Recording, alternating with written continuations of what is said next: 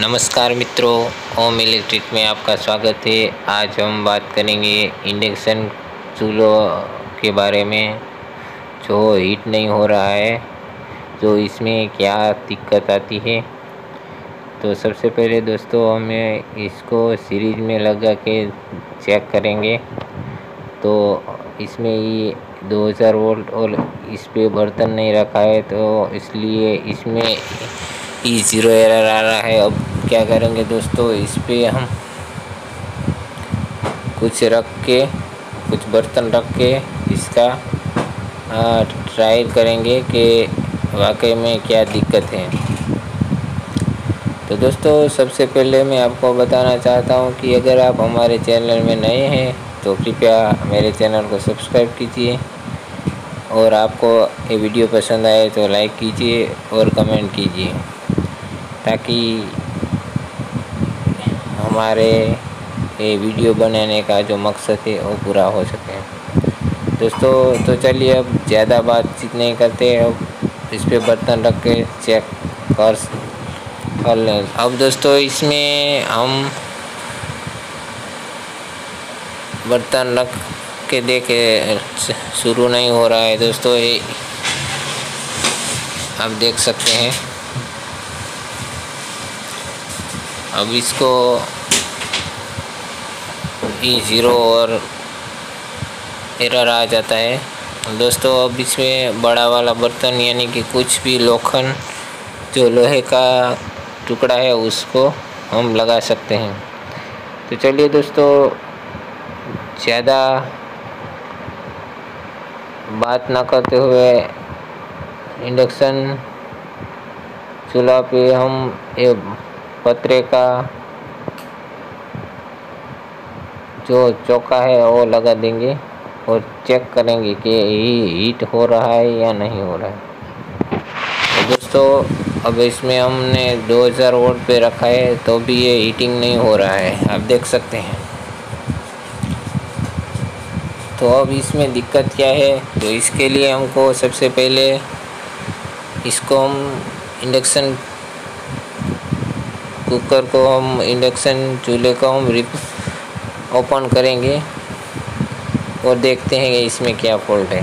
तो दोस्तों, इसके लिए आपका समय ना ख़त्म हो, इसलिए मैंने पहले से इसको खोल के रखा है। तो दोस्तों, अब इसकी कोयल हम उठाएँगे और देखेंगे कि इसमें क्या दिक्कत है। तो दोस्तों, इसमें माए पाँच फेरट का, माइक्रो फेरट का जो कैपेसिटर है, वो वो फेल हो चुका है। और उसको हम देख सकते हैं। वो बड़ी आसानी से हमको नज़र आ जाता है। तो ज़्यादातर किस्सों में दोस्तों ऐसा होता है कि जो नो हीटिंग का प्रॉब्लम है, वो कैपेसिटर की वजह से ही आता है।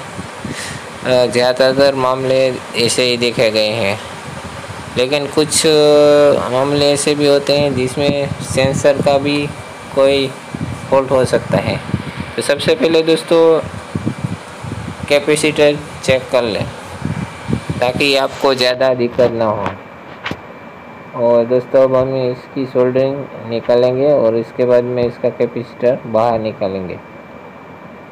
ये कैपेसिटर दोस्तों, पाँच माइक्रोफेराड का है, जो बाज़ार में आसानी से मिल जाता है। और आप को इसका लिंक मैं डिस्क्रिप्शन में दे दूँगा। आप वहाँ से भी खरीद कर सकते हैं। तो अब इसका शोल्डरिंग निकालते वक्त हमें, हमने ये निकाल लिया है। आप देख सकते हैं दोस्तों, इसमें जो है इसका कैपेसिटर का जो पेपर है, वो साफ़ साफ़ दिखाई दे रहा है। अभी हमने दूसरा नया वाला कैपेसिटर है, हम लगाएँगे। आपको दिखाने की कोशिश कर रहा हूँ मैं। ज़्यादातर मेरा कैमरा इतना बड़ा बढ़िया नहीं है तो आपको नहीं दिखेगा। लेकिन मैं आपको उसकी फ़ोटो लगा के दिखाऊँगा कि कितने माइक्रोफ्रेड का कैपेसिटर लगता है। तो दोस्तों, सबसे पहले तो मैं बता दूँ कि जो आपका इंडक्शन चूल्हा है, उसमें लिखा ही हुआ होता है कि कितने माइक्रोफेराइड का जो कैपेसिटर है। देख सकते हैं आप दोस्तों, मैंने ये आपको दिखाने की कोशिश करता हूँ। ये कैपेसिटर है। अब हम इसको कैसे लगाते हैं, उसके बारे में देखते हैं। तो इसके लिए कुछ नहीं करना होता है। ये दोनों चीज़ भी जिधर भी साइड आप लगा सकते हो, लगा सकते हो, कोई बात नहीं। अब इसको सोल्डरिंग कर देंगे। अच्छी तरह से सोल्डरिंग करना ताकि ये जो कैपेसिटर है उसकी पार्क ना हो सके और ख़राब नहीं हो। सोल्डिंग करते समय ज़्यादा सोल्डिंग अच्छी तरह से हो, ये इस बात का आपको ख्याल रखना होगा,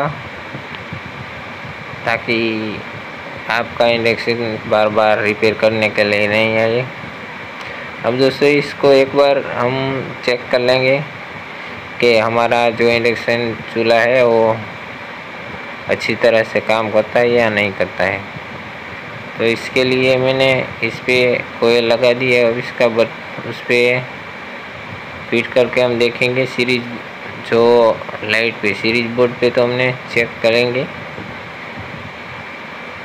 तो इस पर हम जो लोहे का टुकड़ा है वो पत्रे की चौकी है वो लगाएँगे। तो आप देख सकते हैं ई ज़ीरो एरर आए दो हज़ार वोट पे है। और दोस्तों इसमें से धुआँ निकल रहा है। तो आपको समझ में आ गया होगा। अब इस पे बर्तन की कटोरी रखते हैं। इसको हम हीट करके देखेंगे। तो आप देख सकते हैं, इसमें से भी धुआँ निकल रहा है।